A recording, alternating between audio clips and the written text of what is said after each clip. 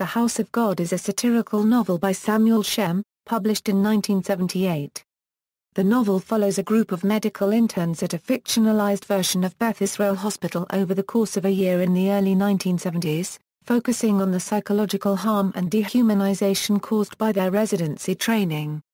The book, described by the New York Times as raunchy, troubling and hilarious, was viewed as scandalous at the time of its publication, but acquired a cult following and ultimately came to be regarded as a touchstone in the evolving discussion of humanism, ethics, and training in medicine. Storyline Dr. Roy Basch is an intelligent but naive intern working in a hospital called the House of God after completing his medical studies at the BMS. He is poorly prepared for the grueling hours and the sudden responsibilities without good guidance from senior attending physicians. He begins the year on a rotation supervised by an enigmatic and iconoclastic senior resident who goes by the name the Fat Man. The Fat Man teaches him that the only way to keep the patients in good health and to survive psychologically is to break the official rules. The Fat Man provides his interns with wisdom such as his own laws of the House of God. One of his teachings is that in the House of God, most of the diagnostic procedures, treatments, and medications received by the patients known as gomers actually harm these patients instead of helping them. Basch becomes convinced of the accuracy of the fat man's advice and begins to follow it. Because he follows the fat man's advice and does nothing to the gomers, they remain in good health. Therefore, ironically, his team is recognized as one of the best in the hospital, and he is recognized as an excellent intern by everyone, even though he is breaking the rules. Later, the fat man must leave for a rotation with another team. Roy is then supervised by a more conventional resident named Joe, who, unlike the fat man, follows the rules, but ironically, unknowingly hurts the gomers by doing so. Basch survives the rotation with Joe by claiming to perform numerous tests and treatments on the gomers while in reality he does nothing. These patients again do well, and Basch's reputation as an excellent intern is maintained. The book also details the great amount of hard, distasteful work the interns must perform, the sometimes poor working conditions, their lack of sleep, their lack of time to spend with friends and family, and the emotional demands of the work. During the course of the novel, working in the hospital takes a psychological toll on Basch. His personality and outlook change, and he has outbursts of temper. He has adulterous trysts with various nurses and social service workers and his relationship with his girlfriend Berry suffers. A colleague, Wayne Potts, who had been constantly badgered by the upper hierarchy and haunted by a patient, commits suicide. Basch becomes more callous and he secretly euthanizes a patient, a man called Sol the leukemic tailor, whose illness had gone into remission but was back in the hospital in incredible pain and begging for death.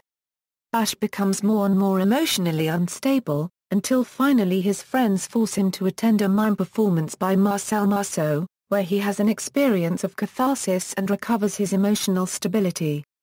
By the end of the book, it turns out that the psychiatry resident, Cohen, has managed to inspire almost the whole year's group of interns and two well-spoken policemen, Gilheeney and Quick, to pursue a career in psychiatry, and that the terrible year has convinced most of the interns to receive psychiatric help. The book ends with Basch and Berry vacationing in France before he begins his psychiatry residency, which is how the book begins as well, because the whole book is a flashback. But even while vacationing, bad memories of the House of God haunt Basch. He is convinced that he could not have gotten through the year without Berry, and he asks her to marry him. Laws of the House of God, Gomers don't die. Gomers go to ground, at a cardiac arrest, the first procedure is to take your own pulse. The patient is the one with the disease, placement comes first. There is no body cavity that cannot be reached with a number 14G needle and a good strong arm. AGE plus BUN equals LASIX dose. They can always hurt you more. The only good admission is a dead admission. If you don't take a temperature, you can't find a fever, show me a BMS who only triples my work and I will kiss HIS feet. If the radiology resident and the medical student both see a lesion in the chest X-ray, there can be no lesion there. The delivery of good medical care is to do as much nothing as possible. Equals later laws equals, Shem added four more laws in his reflection of the house of God 34 years later. Connection comes first, learn empathy, speak up, learn your trade, in the world. Context and impact The book takes place during the Watergate scandal, and follows such events as the resignation of Spiro T. Agnew and the stepping down of Richard Nixon. The book is very likely autobiographical, as the BMS is a thinly veiled Harvard Medical School, and the House of God representing the Beth Israel Hospital, now a part of Beth Israel Deaconess Medical Center, one of the HMS-affiliated hospitals in Boston, Massachusetts. Man's Best Hospital represents Massachusetts General Hospital. There are also references to a community hospital called Mt. St. Elsewhere or Mt. St. E. S., which likely represents Boston City Hospital St. Elizabeth's Medical Center or Mount Auburn Hospital which was part of the Harvard Medical School teaching hospital system. Some American doctors felt that the House of God resonated with their own experiences during their internship training. However, according to the author, many older physicians were offended by the work. Many of the terms defined in this book have since become widely known and used in medical culture. It is difficult to say which came first, the book or the terms, but terms such as bounce back and turf are now in standard medical usage. Similarly, many of the concepts central to the book are now well-accepted medical truisms. For example, since the 1970s falls risks has become a standard assessment for all patients and the notion that gomers go to ground is well established, if not always phrased in those terms. Glossary Several of the terms common to the jargon of junior hospital staff were widely popularized by the book, to turf, to bounce, gomer, LOL in NAD. Zebra. Buff the charts. Cultural references, in jokes abound in the work. One of the principal characters is Eat My Dust Eddie, a doctor so called because of the saying embroidered on his jacket. His name is often abbreviated as EMD, which is also the acronym of the FEAR Terminal Cardiac Event Electromechanical Dissociation, otherwise known as pulseless electrical activity. In 1984, a film was made out of the book but never released in theaters or on VHS DVD. The film was shown on HBO a few times, mostly as filler in non-peak hours. It starred Charles Haid as the Fat Man, Tim Matheson as Roy, with Bess Armstrong, Ossie Davis, Sandra Bernhard, and Michael Richards in supporting roles. The TV medical sitcom drama Scrubs features numerous references to the House of God, which was reading material for some of the show's writers. 1. Turfing, bouncing, and gomers occasionally feature in the show's dialogue.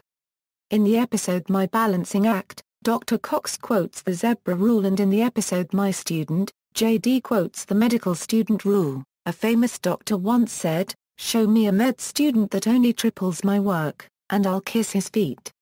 One episode focuses on Dr. Dorian saving a patient by doing nothing, which is a major theme of the novel. Notes. Bibliography, Samuel Shem. The House of God 1979. ISBN 0-440-13368-8. Samuel Shem. Mount Misery. 1999. ISBN 0-552-99813-3. Sequel of The House of God. External links, The Fat Man's Laws of the House of God, film review at the NYU Literature, Arts, and Medicine database site, the House of God at the Internet Movie Database, Rob Reed Hood. The House of God, 15th Anniversary Review. New England Journal of Medicine 335, 1165 a Euro 1166. doi, 10.1056-NEJM 1996101033511521. 30th Anniversary Review by Kit Boys in the NZMSJ, Winter R. Berg B. The Clan of the Cave Bear meets the House of God. FAM Med 36, 95 a Euro 7. PMID 14872355. TheAtlantic.com